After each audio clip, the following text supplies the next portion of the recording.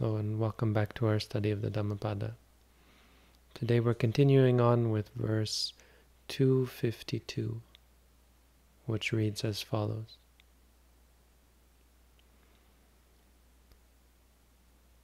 Sudasang vajjamanye sang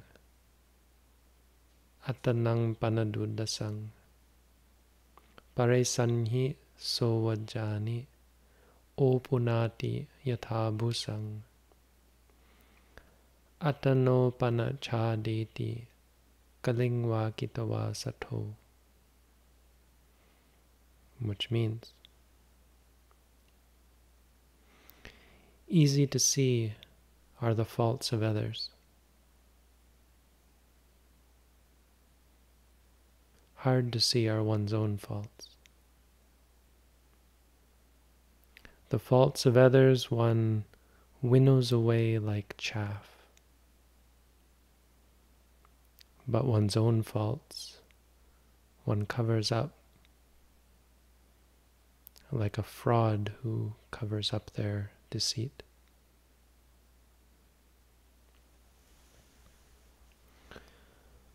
So this verse was taught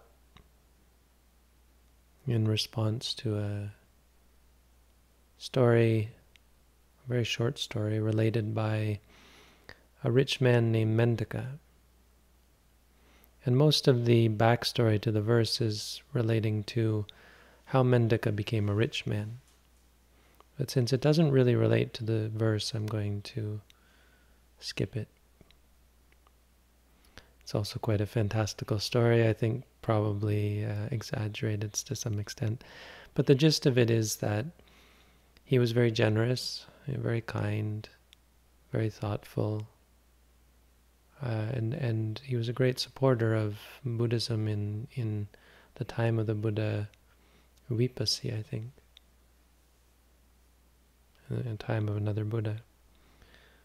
He uh, at one one time there was a famine in one of his past lives, and they were they stored as much rice as they could, but finally they were down to one pot of rice for him, his wife, his son, his daughter and his servant. And so they split it up five ways, but then they saw a an enlightened being, some some religious person who exhibited all the qualities of a an enlightened being, and they were so impressed by his countenance that they all decided to give their their meal, their last meal, to this religious person given as a, an an offering, really in in a way as an offering to dedicate to their own well-being. They used it as a support for their own determination to never have to starve again. And the story goes that as a result, they did never starve again.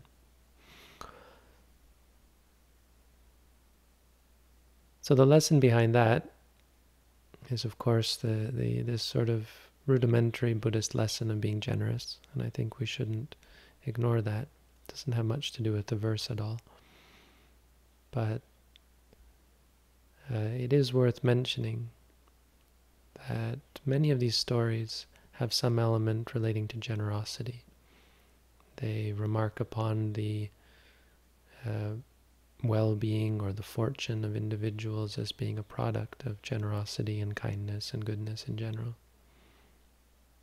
And that's an important Buddhist quality. I mean, it sounds somewhat it's somewhat awkward as a religious person myself to talk about such things, especially when they relate to generosity towards religious individuals, but I certainly, as I've said before, subscribe to this idea. Just because I'm a monk doesn't mean I don't believe that giving to enlightened beings, whether they be monastic or not, but even just giving to the monastic community is a great thing to do, something I do whenever I have the chance.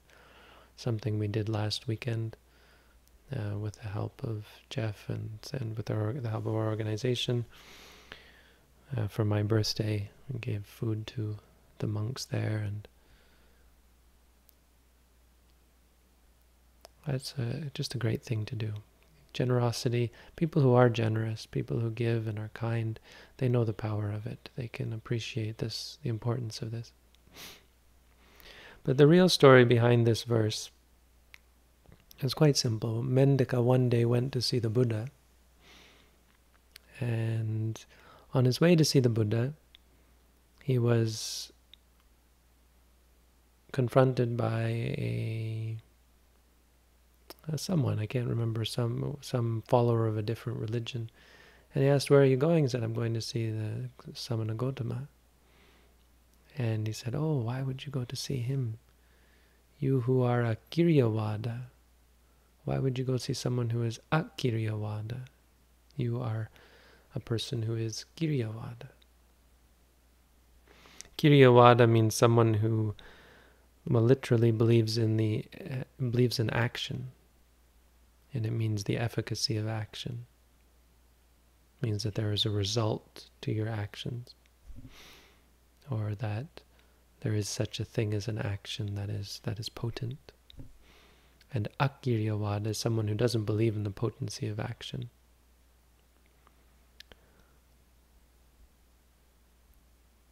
And Mendaka didn't actually respond as far as we, we read.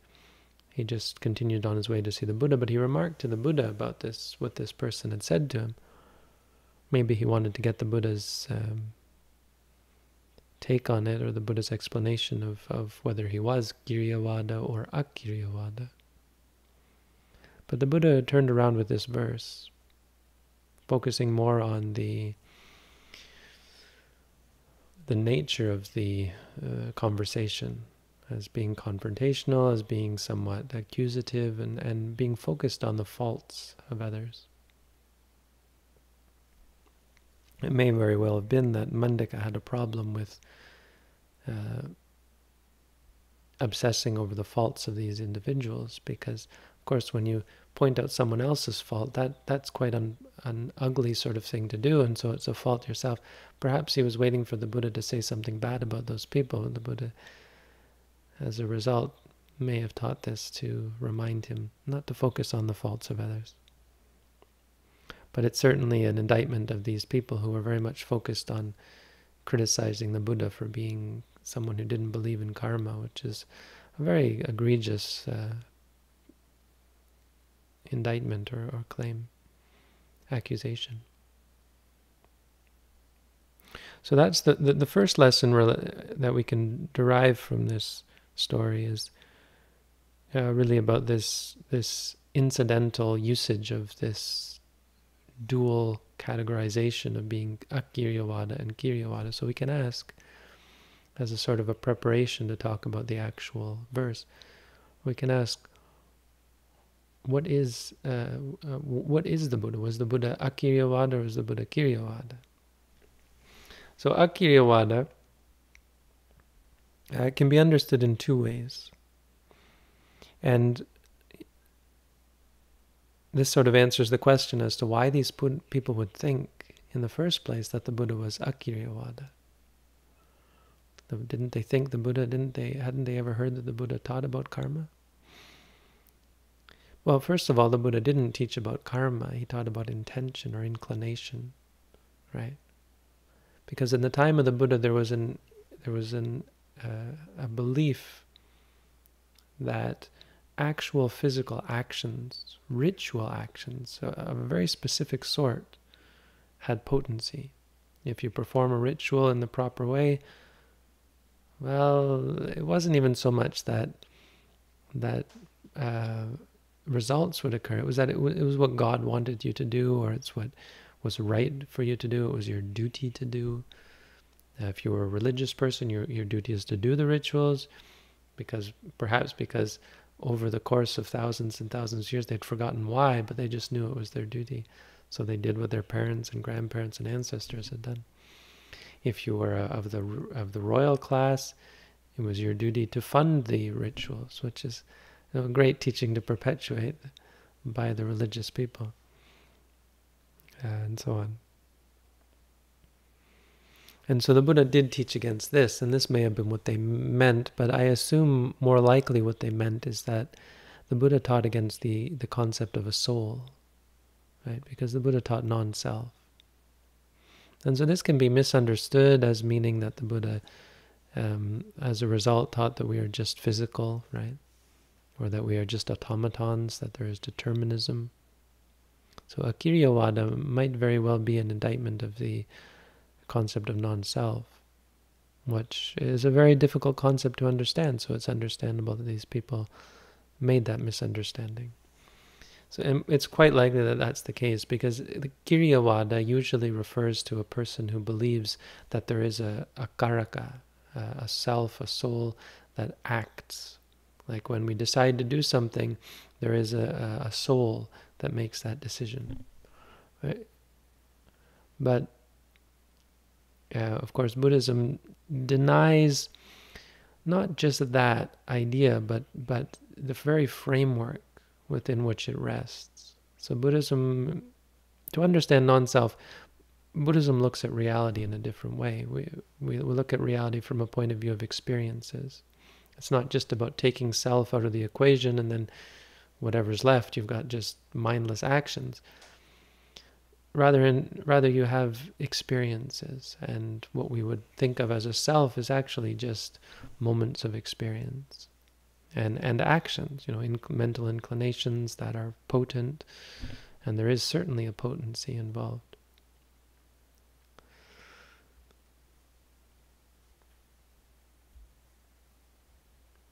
So that's the the idea of Akiriyawada and Kiriyawada. The Buddha, the Buddha himself, um, did answer the question of whether he was Kiriyawada, but he answered it in a different way. So in in the sense that it's usually meant, the Buddha was Kiriyawada in regards to the idea that there is a potency to our actions, but he was not Kiriyawada in the sense of believing in a an entity.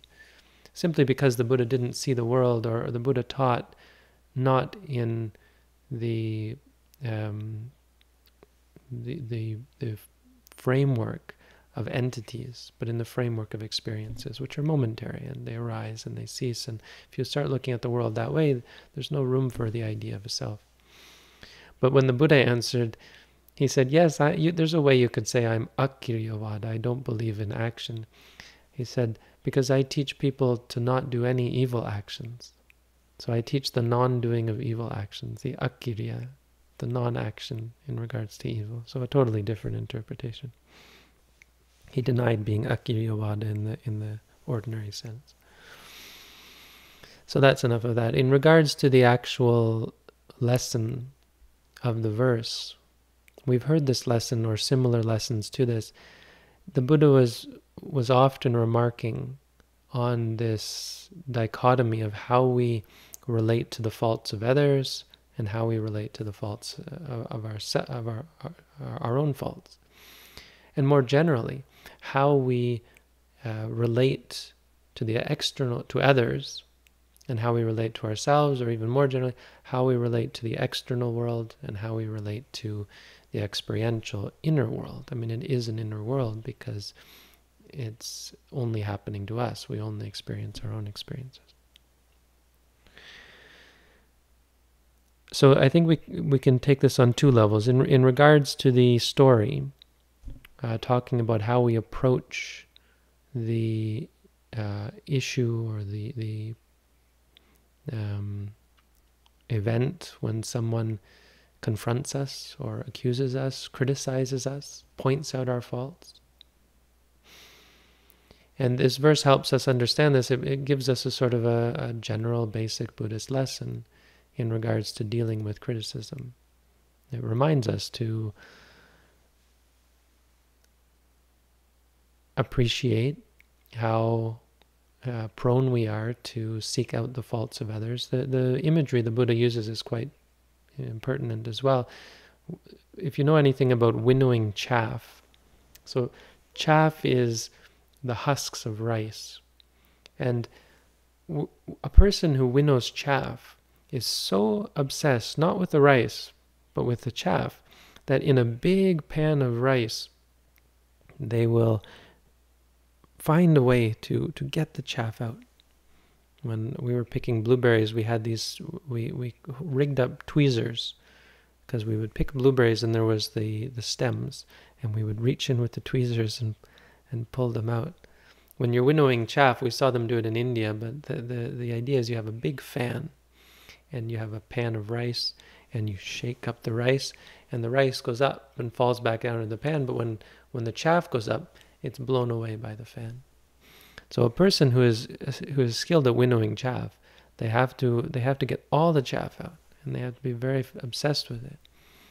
So when you liken that to a person look, winnowing faults, um, it, it, it's quite apt um, because it becomes a habit where we overlook all the good qualities of others and hone in on their faults.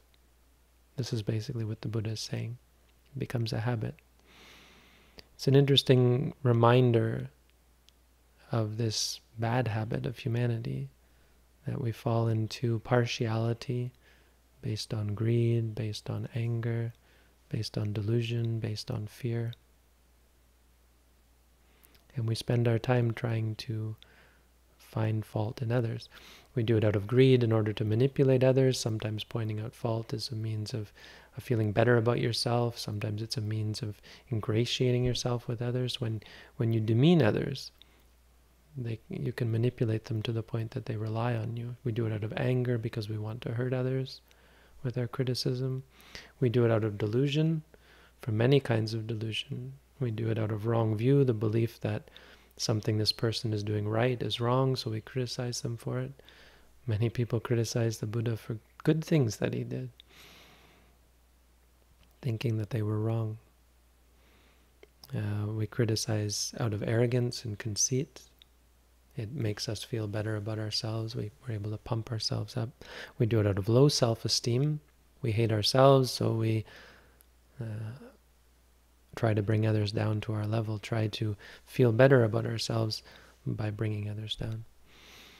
And we do it out of fear, um, worry, you know, feeling like we're not adequate, we're inadequate, and it assuages our fear by reminding ourselves that others have. Eh, our, our minds are perverse in their approach to others.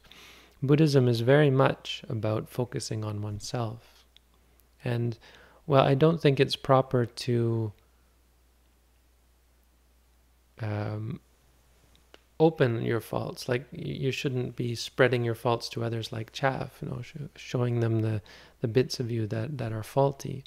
I don't think it's proper or really good, right? Because if you're constantly telling other people what faults you have, you're encouraging them to to to criticize you, right? knowing that others are prone to criticism, you really shouldn't be too concerned or too interested in in presenting your faults to others. But we spend far too much energy trying to hide our faults.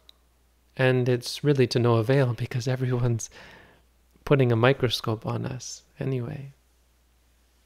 One interesting thing about this verse is it seems to be contradicting itself because the faults of others are are are not shouldn't be easy to see if we're all hiding them.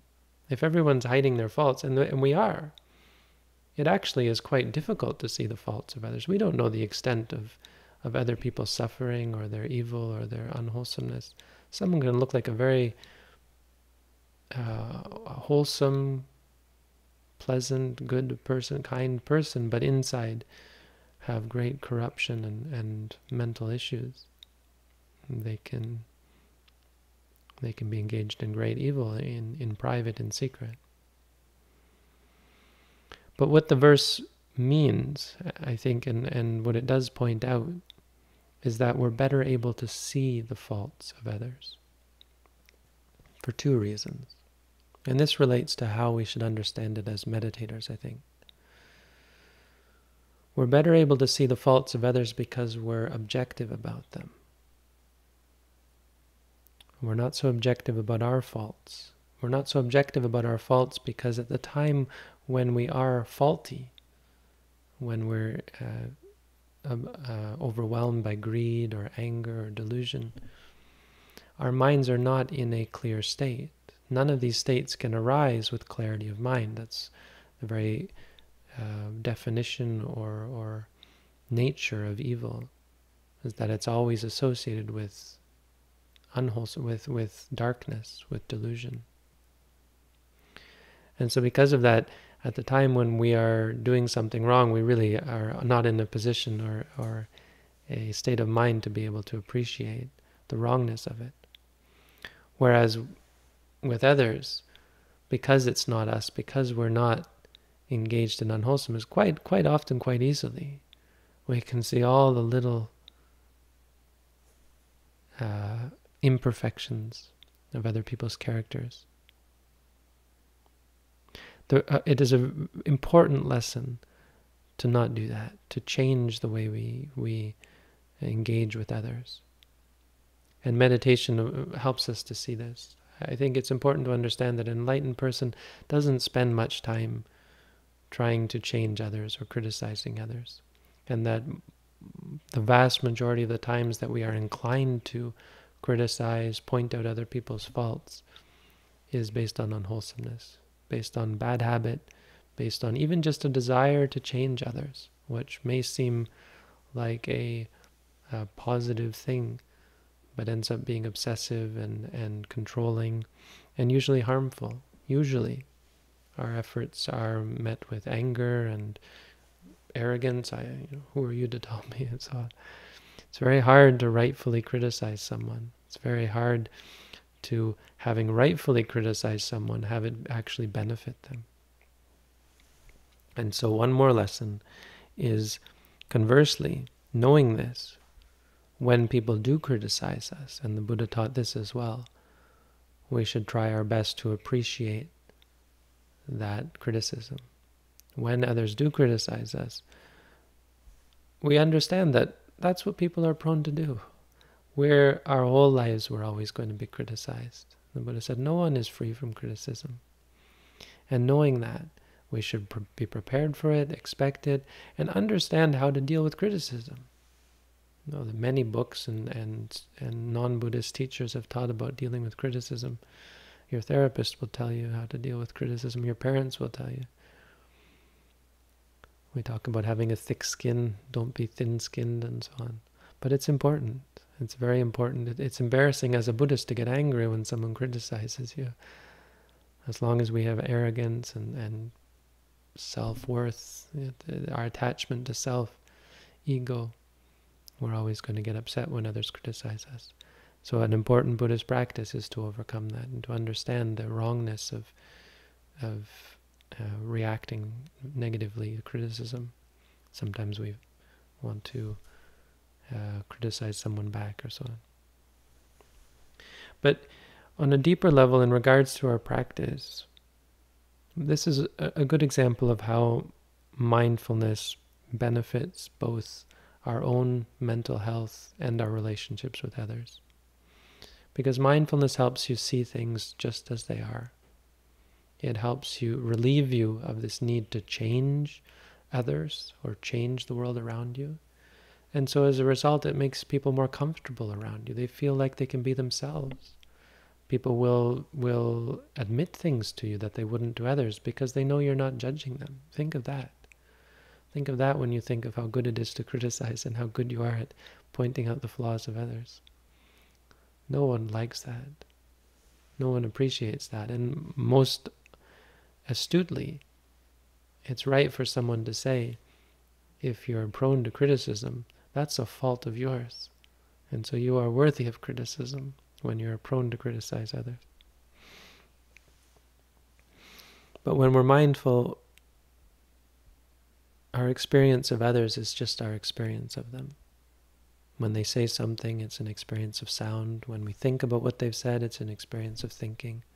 When we think of who they are, that's all just concepts in our mind, and we see those concepts. So we focus much more on our experience of them.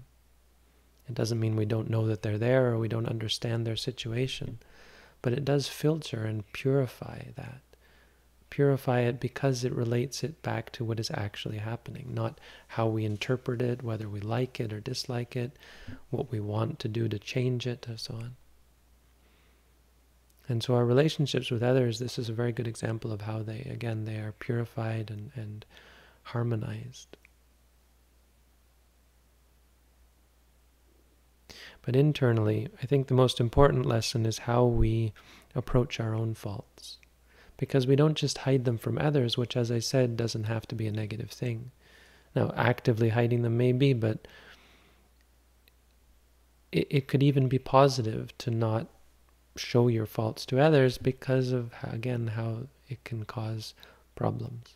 That's not the real problem. The real problem, or the big problem, is how we hide them from ourselves. We hide them from ourselves by uh, rationalizing them. We hide them from ourselves by um, understanding, misunderstanding them. So again, the idea that our faults are not actually faults. We um, hide them from ourselves or we ignore them by hating ourselves. You know, we, we render ourselves ineffective at dealing with them by saying, yeah, there I go again doing this or doing that. I'm just a terrible person, which is a useless thing to do. I mean, it's not only hateful, that's not the biggest problem. The biggest problem is that it makes us ineffectual. It's like a, an answer, it's a defense mechanism of sorts. Because as long as you remind yourself that you're not able to deal, not you're you're you're just such a bad per, you're that sort of bad person. If you're that sort of bad person, well then yeah, you have no power to change because it's who you are. But it's not who you are. It's just habit, as everything is.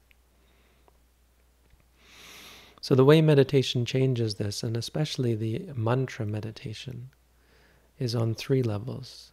On the perception level, when you note, for example, uh, let's let's look at one of the hindrances. So if you're angry, if you're an angry sort of person, and you say to yourself, "angry, angry," you, you, the word focuses you on the on the experience, and you see the anger as something that arises and ceases. You see it, it ceases pretty quickly, because it can't exist with mindfulness. But you see it for what it is, and so that changes your perception of it. Uh, your perception of your faults changes you from from maybe getting caught up in the anger and thinking, yeah, I should do something with this anger, maybe hurt others or say things that are unpleasant to others. It changes it on the thought level. You see, the thing about a, a noting, a mantra, is it is a thought. It's a mental activity. It's a mental construct. It's conceptual. It's an act of conceptualizing. And it's meant to be a replacement for the ordinary concept, so conceptualizing that we do. When you're angry, you conceptualize it as I am angry, and this person made me angry, and I don't deserve whatever they did to make me angry, and so on, right? Our, our, our thought process, this is the wrongness of our thought, thought process. We, we are oblivious to the nature of the anger because we're focused on maybe the other person or whatever it was that caused our anger or whatever we're going to do about our anger, with our anger. And so when we say to ourselves, angry, all of that is gone. There is no conceptualizing beyond anger. What is this? How do I conceive of anger? It's anger. Greed, when you want something, what you want, you know, how you're going to get it, gone because there's only the wanting.